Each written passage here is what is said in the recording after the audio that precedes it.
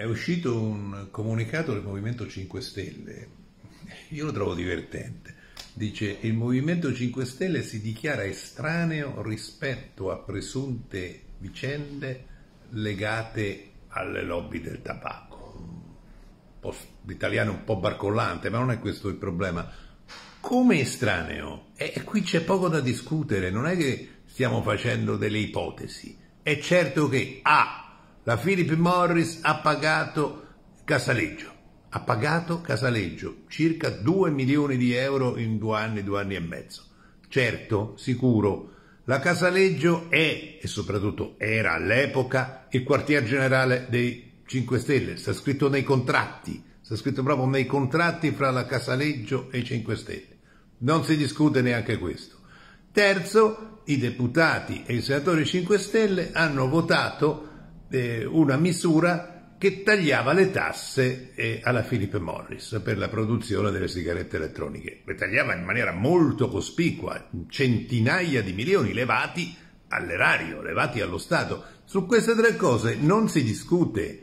Eh, il Movimento 5 Stelle può fare un comunicato in cui dice ah ci siamo sbagliati, ah chiediamo scusa, ah restituiamo i soldi. Non lo so, può fare tante cose, ma non è che può dire che è estraneo a quella vicenda. Ci sta dentro fino al collo.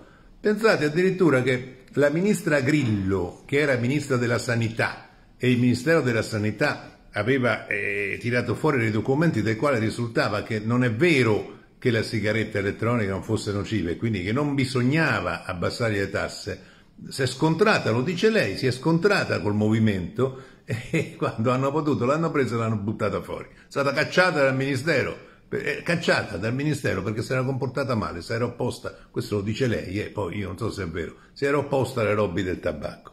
E allora eh, c'è poco da dire eh, qua e là, eh, ci stanno dentro fino al collo. Quello che stupisce casomai è che stiano abbastanza tranquilli, non, non, non ci sono grandi scontri molti giornali, la gran parte dei giornali, tranne due o tre, eh, non ne hanno neanche parlato di questa cosa, ne ha parlato Repubblica, ne ha parlato la stampa, ne ha parlato il giornale. Mi pare nessun altro grande quotidiano. Come mai? Io faccio solo questa domanda, come mai?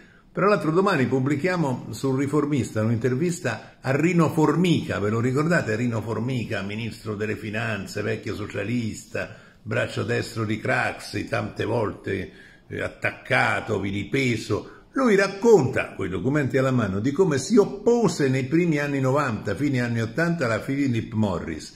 Si trovò tutti contro, tutti contro, i politici e i giornalisti, editoriali dei grandi giornali contro lui, fa anche i nomi, eh. compratelo domani il riformista e leggete anche i nomi di chi si oppose. È una vecchia storia questa della Philip Morris, che ci ha provato in tutti i modi e che ora ha preso in mano il Partito dei 5 Stelle non possono non rispondere, devono rispondere e non può non rispondere il governo, deve rispondere e il PD non può starsene zitto, e deve parlare, non può stare zitto. Se è vero che sta facendo il governo con i 5 Stelle, il partito dell'onestà, che ci ha rotto le palle a tutti quanti per anni che doveva essere onesti, trasparenti, eccetera, e pigliava i soldi dalla Philip Morris. Ma è Dio buono, qualche iniziativa dovrà prenderla, dovrà scrollarsi di dosso questa robaccia.